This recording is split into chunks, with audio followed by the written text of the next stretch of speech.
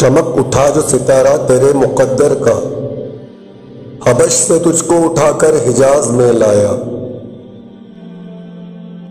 हुई उसी से तेरे गम कदे की आबादी। तेरी गुलामी के सदके हज़ार आज़ादी।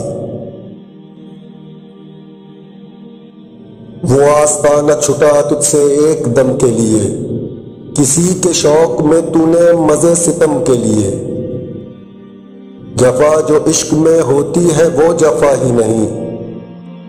सितम न हो तो मोहब्बत में कुछ मज़ा ही नहीं। नज़र थी सूरत सलमा अदा शिनास तेरी। शराब दीद से बढ़ती थी और प्यास तेरी। तुझे नजारे का मिसले कलीम सौदा था, अवैस ताकत दीदार को तरसता था। मदीना तेरी निगाहों का नूर था गोया। तेरे लिए तो ये सहरा ही दूर था गोया।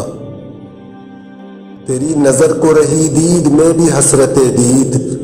खुनक दिले के तपीदो दमे में आसाइद गिरी वो बर्क तेरी जाने ना शकीबा पर के खुंदा जन तेरी जुल्मत थी दस्ते मूसा पर। तपिश शोला गिरफ्तन दो बर दिल तो जदंद छिबर के जलवा बखाश आप हासिले तो जदंद अदाए दीद सरापा न्याज थी तेरी, किसी को देखते रहना नमाज़ थी तेरी।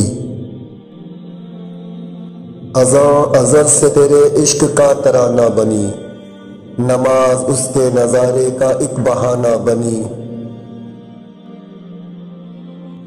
खुशा वो वक्त के यसरब मकाम था उसका खुशा वो दौर के दीदार आम था उसका।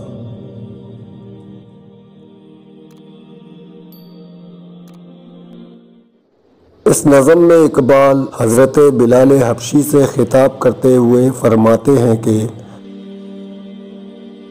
ये तेरे मुकद्दर का सितारा ही चमक उठा था कि तू हुजूर सल्लल्लाहु अलैहि वसल्लम की दीद और खिदमत के लिए हबशा से हिजाज में आ बसा। ये एक तारीखी हकीकत है कि हज़रत बिलाल सियाह फाम हबशी होने के बावजूद इस कदर खुश इल्हान थे कि सरवर कायनात ने उन्हें मस्जिद नबी सल्लल्लाहु अलैहि वसल्लम में आज़ान देने की खिदमत पर मामूर कर दिया। फरमाते हैं कि, ए बिलाल हबशी जो अपने वतन में बेकैफ ज़िंदगी गुजार रहा था, हुजूर सल्लल्लाहु अलैहि व वसल्लम की गुलामी में पहुंचकर इस सआदत का अहल हुआ है कि इस गुलाम पर हज़ार आज़ादियाँ कुर्बान की जा सकती हैं। पैगंबर इस्लाम पर दुश्मनान दीन की यलगार और तुझ पर जुल्म सितम के बावजूद तूने हुजूर के आस्थाने को ता ज़िंदगी एक लम्हे के लिए नहीं छोड़ा। इसलिए कि तू इस रम्स से आगाही हासिल कर चुका था। महबूब के इश्क में गैरों की जो जफाएँ बर्दाश्त करनी पड़ती हैं, वो अहले दिल के लिए जफा नहीं होती। इसलिए कि उनके बगैर मोहब्बत में कुछ लुत्फ हासिल नहीं होता। ए बिलाल हबशी, अमर वाक़ ये है कि सहाबी रसूल हज़रत सलमान फ़ारसी की तरह तेरी नज़र भी अदा शनास थी। और हुजूर सल्लल्लाहु अलैहि वसल्लम की अजमतों से पूरी तरह आगाही रखती थी। यही नहीं, बल्कि पैगंबर इस्लाम की कुर्बत में तेरा जज्बा मज़ीद फ़रोग पाता था। जिस तरह मूसा कलीमुल्ला को दीदार खुदाबंदी का जुनून था और हज़रत अवैस करनी जिस तरह नबी अकरम सल्लल्लाहु अलैहि वसल्लम की ज़ियारत के लिए तरसते रहे इसी तरह तूने मदीने को महज नूर हकीकत तस्वुर कर लिया था।